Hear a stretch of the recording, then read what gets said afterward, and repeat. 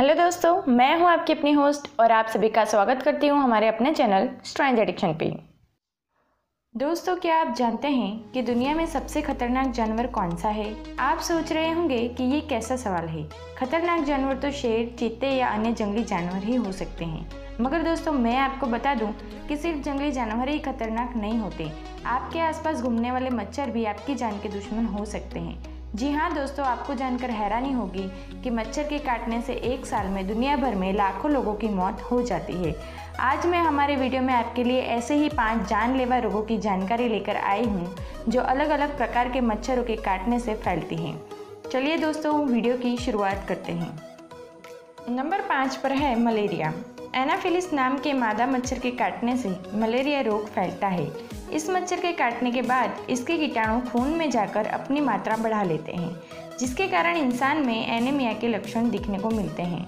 साथ ही चक्कर और सांस फूलना भी शुरू हो जाता है, जिसके बाद व्यक्ति को ठंड, गर्मी और पसीना आने की क्रियाएँ एक साथ शुरू हो जाती हैं। यह अवस्था में कभी कभी इंसान बेहोशी की हालत में भी जा सकता है इस रोग के बढ़ने का कारण, जैसे कि आप सब जानते हैं, यह गंदे पानी, कचरे और बस्तियों की गंदगी की वजह से ज़्यादा फैलता है। इसीलिए किसी भी तरह का बुखार जो आपको बार बार आता हो तो खून की जाँच करवा लेना बहुत ही आवश्यक है। नंबर चार पर है डेंगू। एडिस अजिप्टी नाम के मादा मच्छर के काटने से डेंगू रोग फैलता है। यह बीमारी में इंसान बहुत ही दर्द और कमज़ोरी महसूस करता है। इस मच्छर के काटने के चार या दस दिन बाद इसके लक्षण दिखना शुरू हो जाते हैं। इस रोग के होने पर मरीज़ को तेज बुखार, सरदर्द मांसपेशी और जोड़ों में दर्द होने लगता है और पूरे शरीर पर फुंसियाँ हो जाती है। डेंगू रोग होने पर मरीज़ को तुरंत ही अस्पताल में भर्ती होने की सलाह दी जाती है, क्योंकि यह रोग खून में तेज़ी से संक्रमणता फैलाता है। यह रोग होने पर डॉक्टर आराम और अधिक से अधिक पानी पीने की सलाह देते हैं। नंबर तीन पर है चिकनगुनिया। एडिस नाम के मच्छर के काटने से चिकनगुनिया रोग फैलता है। इस रोग से होने वाले लक्षण ज़्यादातर डेंगू से होने वाले लक्षणों से मिलते जुलते हैं। इस रोगों में बहुत ही तकलीफ़ और जोड़ों में तेज़ दर्द होता है। यह बीमारी होने के बाद इसके लक्षणों की असर आसानी से नहीं जाती, क्योंकि इस बीमारी से बचने की ना ही कोई दवाई बनी है, ना ही कोई टीका। इसलिए इस बीमारी से बचने का बस एक ही कारण बताया है कि मच्छरों से ज़्यादातर दूर रहने की कोशिश करें।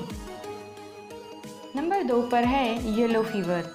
एडिस इजिप्टी आई जाति के मच्छर के काटने से येलो फीवर नाम का रोग होता है। यह रोग होने पर मरीज़ में पीलिया के लक्षण दिखाई देते हैं। लीवर में खराबी होने के कारण उसकी त्वचा और आँखों का सफ़ेद हिस्सा पीला पड़ जाता है। यह रोग वायरस से फैलने के कुछ दिन बाद ही व्यक्ति को पता चलता है। हालाँकि इस रोग से बचने की दवाई और टीका आदि बना हुआ है, फिर भी बहुत लोगों की इस रोग से मृत्यु हो जाती है। यह रोग ज़्यादातर अफ्रीका और अमेरिका के भूभागों में अधिक फैलता है। नंबर एक पर है जिका वायरस। अंडीज इजिप्टी नाम के मच्छर के काटने से जिका वायरस रोग फैलता है। यह वही मच्छर है दोस्तों, जो डेंगू, चिकनगुनिया और पीला बुखार जैसे रोगों को फैलाने के लिए जिम्मेदार हैं। जिका वायरस को पहचानना बहुत ही मुश्किल है, क्योंकि इसके होने के कोई विशेष लक्षण नहीं है। यह रोग मच्छर के काटने के तीन से बारह दिनों के बीच रैसेज सिरदर्द और जोड़ों के दर्द के लक्षण दिखाता है। देखा गया है कि यह रोग माँ से नवजात शिशु में भी फैलता है। और इसके फैलने का दूसरा कारण यौन संबंधों को भी बताया गया है।